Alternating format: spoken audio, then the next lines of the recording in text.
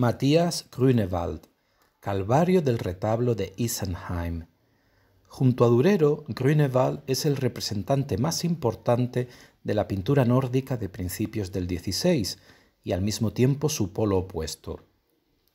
Si Durero emplea la línea como medio de creación artística, Grünewald emplea el color, al que concede una expresividad inaudita, mientras que Durero, a medida que evoluciona, centra su atención en los nuevos avances del Renacimiento, Grünewald sigue ante todo las tradiciones medievales.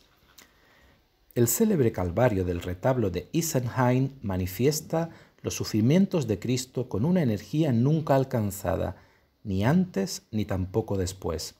El cuerpo desfigurado, con la cabeza profundamente caída y un color aproximado al gris, presenta todos los síntomas de los tormentos ya superados, en los músculos y tendones distendidos y en los dedos rígidos como en un espasmo.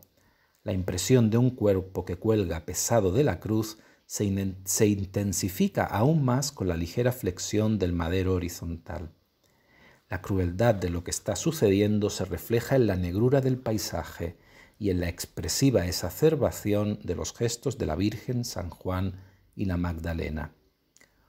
Única en la expresividad de las, de las actitudes, la representación de Grünewald adquiere su carácter abrumador, en particular por la fuerza que irradian los colores y contrastes de color.